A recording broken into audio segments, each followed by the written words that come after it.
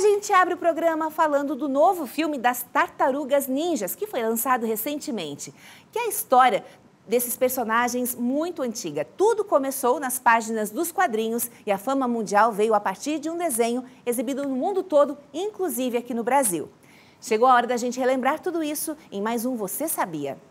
Se você é ligado aqui no Ver Mais, você já percebeu que tem um novo filme das Tartarugas Ninjas em cartaz aqui no Brasil. Só que, claro, essa história não é de agora. Os personagens têm quase 40 anos. Eles surgiram nos quadrinhos, mas ficaram famosos mesmo quando a história foi adaptada para um desenho animado, ali em 1987. Tem várias curiosidades, vários mistérios e eu separei todos esses dados, todas essas informações para mais um Você Sabia? Chegou a hora de descobrir mais sobre Leonardo, Rafael, Michelangelo e Donatello.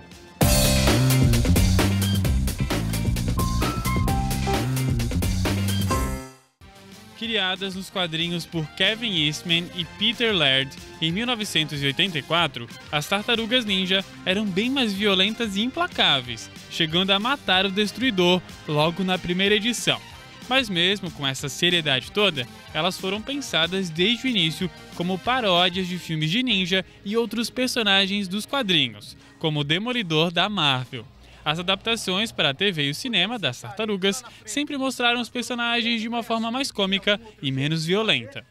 Hum, perfume de lavanda. Nem sempre o sucesso vem fácil. Você sabe muito bem disso, né? Vários sacrifícios precisam ser feitos. Um dos criadores das Tartarugas Ninja que eu diga, ele zerou a conta bancária e ainda teve que pedir dinheiro emprestado ao tio Todo esse dinheiro foi utilizado para fazer as impressões das revistas em quadrinho e também para publicidade.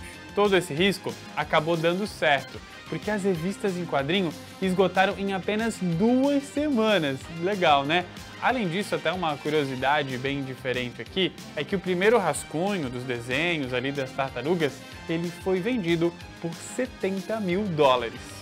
Como na televisão japonesa tudo precisa ser diferente, no Japão as tartarugas viraram um anime bem diferentão. O desenho tinha uma trama mais mística e com vários detalhes totalmente diferentes da versão original.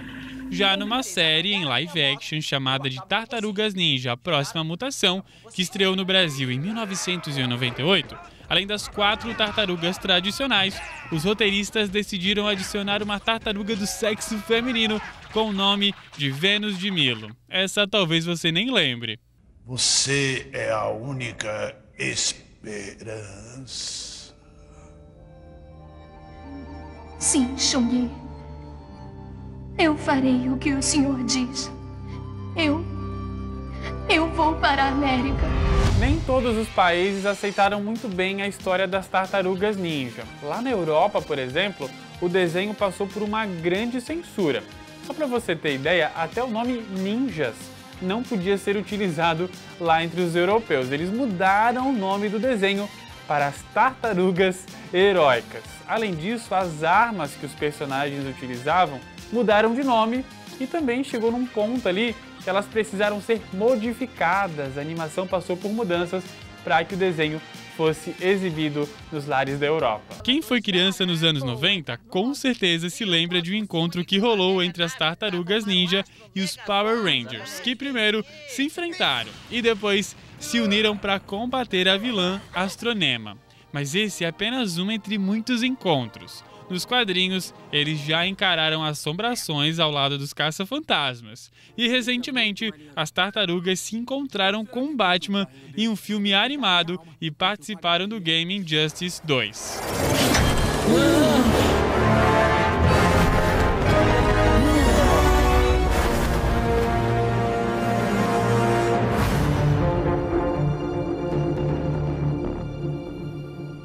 Não é por nada não, galera, mas esse carro deve ser dele.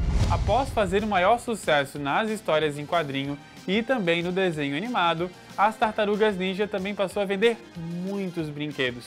E o lucro foi bastante grande. Nós tivemos uma verdadeira febre verde ali no final da década de 80. Só para você ter noção, em 1988, todos os produtos envolvendo as tartarugas lucraram mais de um bilhão de dólares. É muito dinheiro mesmo. O primeiro desenho das tartarugas foi ao ar em 1987 e ficou no ar por nove anos, até 1996. Foi o desenho de maior duração, até ser superado pelos Simpsons. Nas telonas, vários filmes foram lançados. O primeiro deles, em 1990, que foi exibido milhares de vezes nas TVs brasileiras. Na época, quase ninguém queria investir na produção, porque pensaram que seria um fracasso. Mas no fim, se tornou um sucesso gigantesco.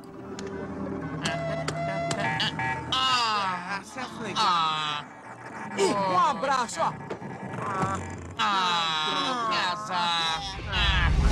Quando a gente fala em tartarugas ninja, com certeza você lembra da paixão delas por pizza.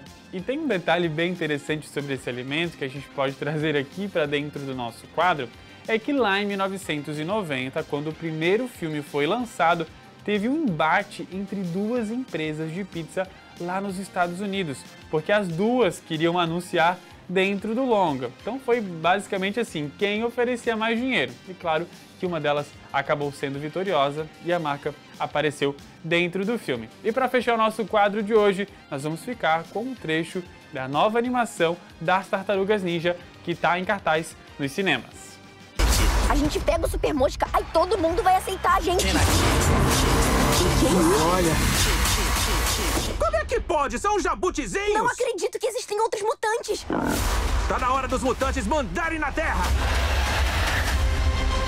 Não dá pra ganhar dele. A gente tem que tentar. Michelangelo, você tem sentimento. Donatello, você tem sabedoria. Rafael, você tem coragem. E Leonardo, honra. Juntos, vocês podem fazer qualquer coisa.